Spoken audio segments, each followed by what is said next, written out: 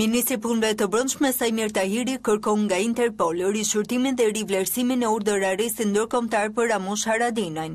Në letrën dërguar Sekretarit të Përgjithshëm të Interpolit, Jurgen Stok, ministri Tahiri thekson se arrestimi i ish-kryeministrit të Kosovës dhe ish-udhëheqësit të luftës së UÇK-së, në bazë të një urdhër-arresti të Interpolit, cënon parimet themelore të drejtësisë penale, si dhe të drejtat e njeriut.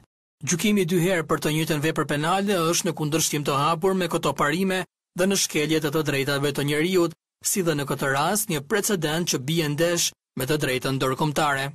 Ministri nënvizon se urdhër-arresti ka gjithashtu probleme formale dhe proceduriale.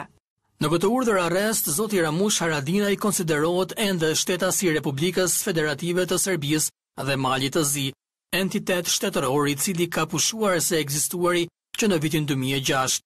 Më lejoni gjithashtu t'ju rikujtoj se personi subjekt i urdhër arrestit ndërkombëtar më datë gjashtë qershor dy mijë e pesë është ndaluar më parë nga autoritetet sllovene bazuar në të njëjtin urdhër arresti dhe është liruar menjëherë pasi autoritetet e kanë konsideruar atë si të pazbatueshëm.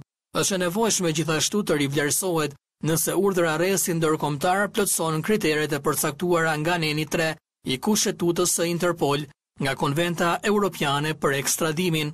E ndërkohë, kryeparlamentari Ilir Meta ka ripërsëritur qëndrimin e tij lidhur me arrestimin e Haradinajt. Për median kosovare, Gazeta Express, Meta thotë se ndalimi në Francë si pasojë e fletarrestit të Serbisë, ndikon drejtpërdrejt në raportet mes shtetit të Kosovës dhe Beogradit. Nuk do të doja të jepja një këshillë sepse autoritetet e Kosovës kanë gjithë përgjegjshmërinë dhe përvojën për të vepruar në mënyrën më të mirë në mbrojtje të interesave të Kosovës, të qytetarëve të saj dhe të të drejtave të tyre.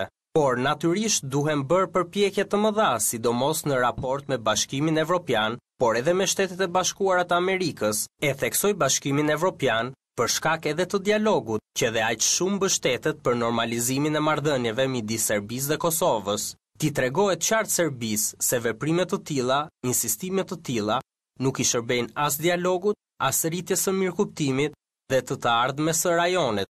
Meta thotë se dy shtetet shqiptare kanë vepruar siç duhet për lirimin e Haradinajt, duke shprehur bindjen se ai shumë shpejt ka për t'u kthyer në Kosovë.